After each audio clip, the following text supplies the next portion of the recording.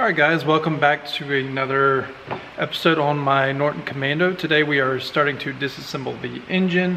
So we have to take the push rods out, the top, which is just pulling them out. Then we have to take, take off the cylinders. Yeah, everything else. So we have a whole lot to do here, so let's get to it. So let me show you guys. So right here, I'm taking my push rods out. And like everything else, so the first one here, I have a box marked so I know exactly how everything goes when it's time for reassembly.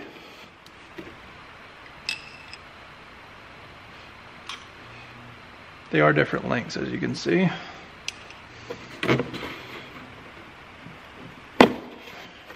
And this one here there. I just got it marked with the L and R and time to start getting this the cylinders off. All right, all I'm doing here is just removing all of these nuts right here. Easier said than done. It's gonna take a few ugga I think. There we go. Just gonna work them loose all around.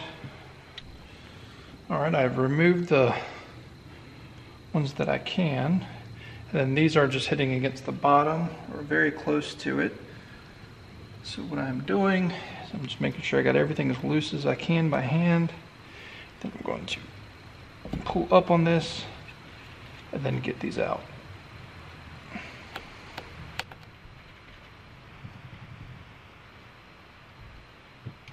And then just rinse and repeat until they come way off like that.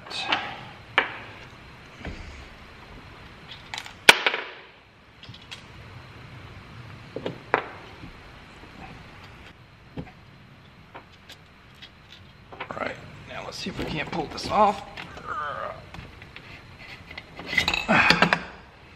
All right, there we go. So the first thing to do is to get all these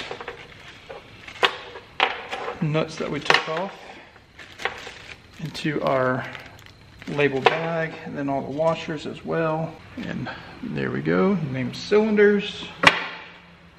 And time to look at our cylinder walls here.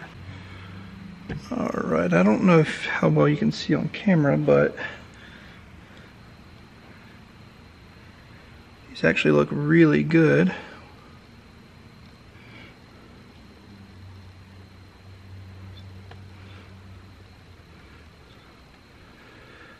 think it might just need to be freshened up with uh, good old-fashioned dingleberry hone.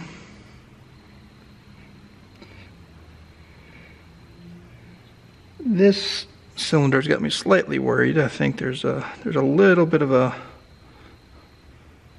slight where I can feel I can't catch a fingernail on it, but I'll have to get that checked out.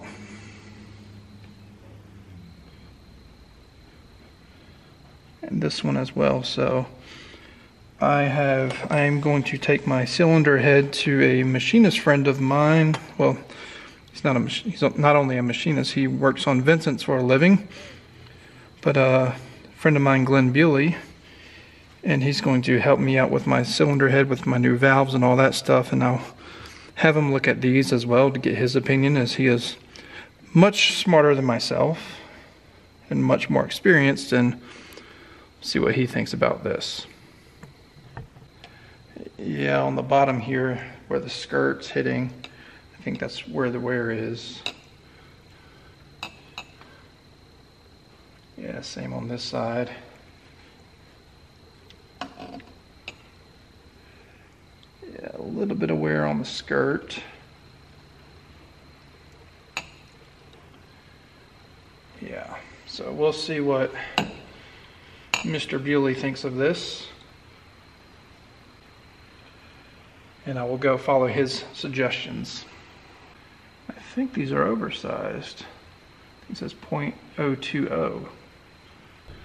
All right, before we continue with the engine, we'll take these out right here. They are safety wired in. So I will see if I can't untwist it. Some lineman's pliers. The safety wire out. Untwist them and then I'll cut it. All right, so I got the safety wire off of these is right here.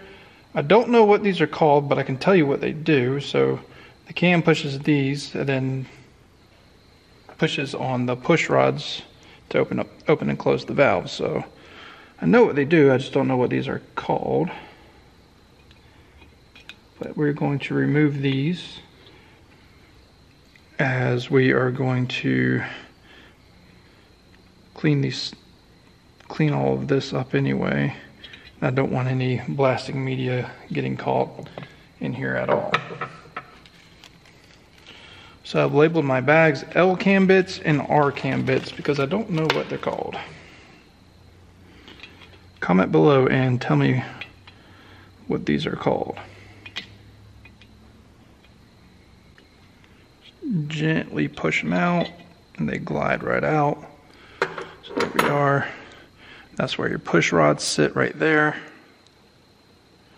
All right, so that's it that we're going to do on this for now. And then now over here on the engine, so over here on the engine, we are going to remove our timing cover. And on this, uh, this engine was wet sumping really badly. So I had a fixed on, I can't remember who did it, guy in Arizona if I remember correctly there's a little tiny ball that's retained by a spring and then it keeps it from wet sumping. There was a video on it on the Mighty Garage channel and I saw that one and then I was like, hmm, that's a good idea. Mine's wet sumping really badly.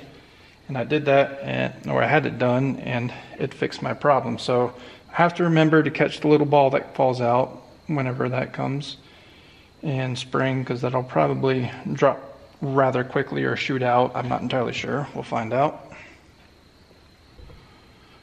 All right, so I'm going to remove all of these on the timing cover.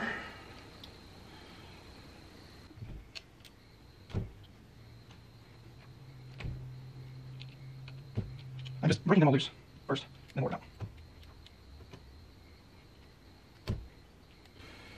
Then while I've got the timing cover off, I would like to try my hand at polishing it because I do like a polished timing cover. I think they look really, really good. I'm not sure if all these are the same length or not. We'll see.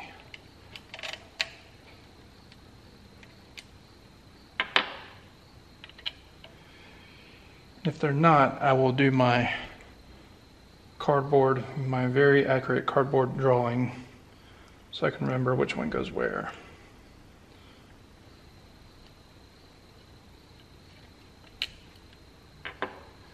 Yep, the, that one's already a shorter one. So let me get a piece of cardboard and do a very accurate drawing. I'll be right back. All right, so here we have our very accurate and definitely to scale cardboard cutout. I mean, or I mean, you can't tell a difference between this and that. I mean, it's pretty much the same thing on the other side, that's where I did for my Thruxton R timing cover. So this is peak of art design right here. So I'm just going to give the timing cover a few raps.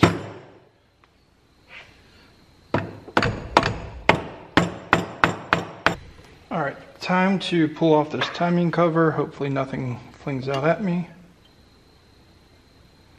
There we go.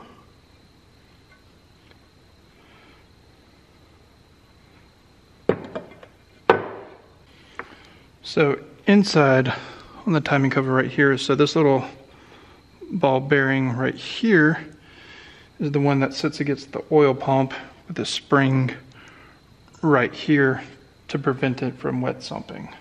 So these are things I definitely do not need to lose. I think the spring stays in Let me see if it'll come out easily. If not, I will leave it in there. All right, the spring came out with zero resistance, so we'll put this into the bag. ball bearing. And then this has to be cleaned. And I'll probably replace the seal right here too while I'm at it. I'm doing all this other work. Let's replace the seals. Obviously a new gasket.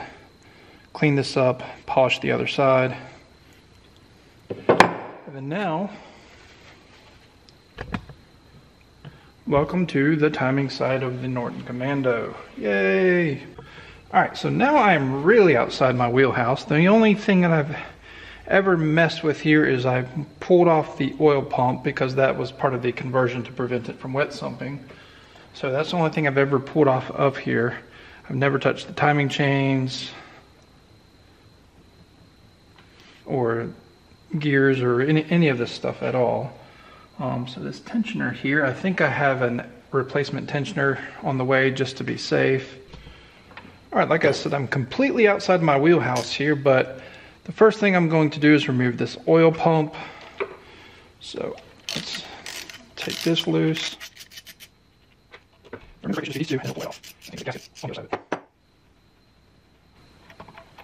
So this one actually pulled the whole stud off. Interesting, but that's fine. So there's my oil pump here. This is going to go into the oil pump bag. Along with the other bits. Just go ahead and remove this little paper gasket while we're here. We're not keeping this. This is going to the trash. And now I guess we will remove the sprocket here for the cam. Alright guys, so I've been trying to get this nut off right here on the camshaft end and I can't get it off. I've tried heat, pry bars, I've tried impacts and I can't get it off.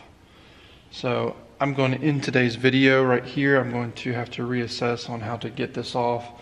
I looked online, I saw, saw somebody had to like drill it off maybe that's what I have to do. And if I damage bits, it, it is what it is, and I'll replace them. That's fine. But uh, yeah, it's been quite a massive hassle trying to get this off. This tensioner bit right here has got some grooves in it, and I'm glad I've already got a new one ordered. So this crankshaft nut right here, this is actually a reverse thread, so it comes off by spinning to the right. I've went ahead and started getting that one off. I, I don't know what I need to do to get this off.